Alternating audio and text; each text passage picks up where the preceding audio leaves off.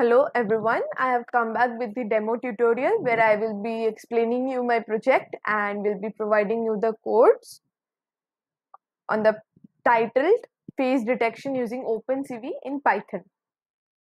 The prerequisites for this particular project is you need to have some hands-on knowledge on Python, NumPy and Matplotlib, how to use them. Uh, as uh, before working on OpenCV, you need to know the essential parts and you need to make sure that you have be installed this particular packages before using OpenCV. Now here is my code. I have loaded the necessary libraries. Then I have loaded the image that has to be tested. Then I have converted the image into grayscale format.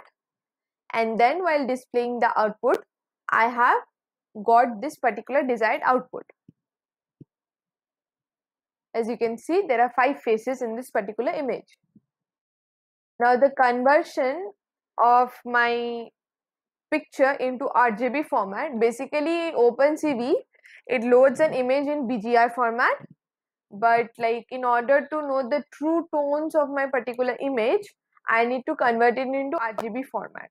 But this conversion of BGR to RGB is not written there is no any predefined function so in order to that, we need to define the function.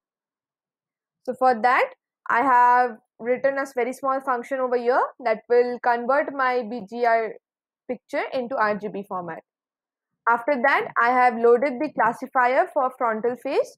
Here, Haar Cascade frontal face classifier is basically like uh, it is a particular folder which gives you a very clear classifiers which include smile face different attributes of a particular human face. So that comes in a format of uh, xml extension. In the google you can find it properly.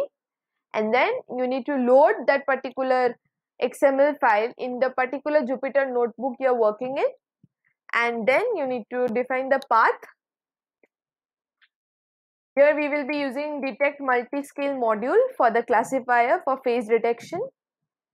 Now after uploading of my Cascade file, I will give the image path. Then it will be like the gray colored image. It has to be converted into grayscale image.